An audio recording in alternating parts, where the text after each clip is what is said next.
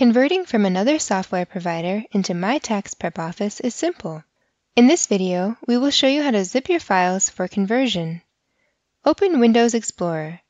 The fastest way to do this is to press the Win key plus the E key on your keyboard. That's the Windows key and the letter E at the same time.